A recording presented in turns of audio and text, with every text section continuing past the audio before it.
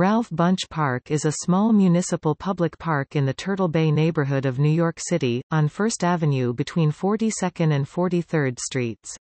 It was named in 1979 for Ralph Bunche, the first African American to win the Nobel Peace Prize. The park is across First Avenue from the United Nations headquarters.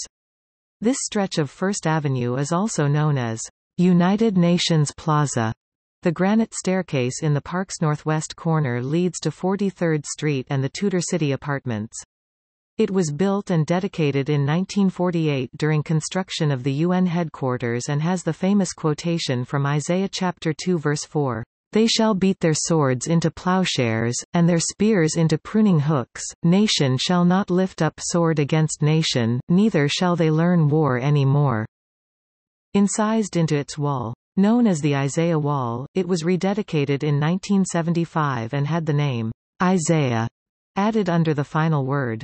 In 1981 the staircase was named the Sharansky Steps in honor of Soviet dissident Natan Sharansky. In the plaza in front of the Isaiah Wall is Peace Form 1, a stainless steel obelisk 50 feet 15 meters high, erected in 1980.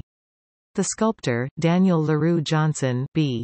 1938, was a personal friend of Bunche, and dedicated the sculpture to Bunche, who won the Nobel Peace Prize in 1950. Near the southern end of the park is a plaque, dedicated in 1990, which commemorates civil rights leader Bayard Rustin. Because of its proximity to the United Nations, the peace theme of the Isaiah Wall and Peace Form 1, and Bunche's career as a peacemaker, the park is a popular site for demonstrations and rallies concerning peace and other international issues. In 1985 the park was dedicated as New York City's first peace park.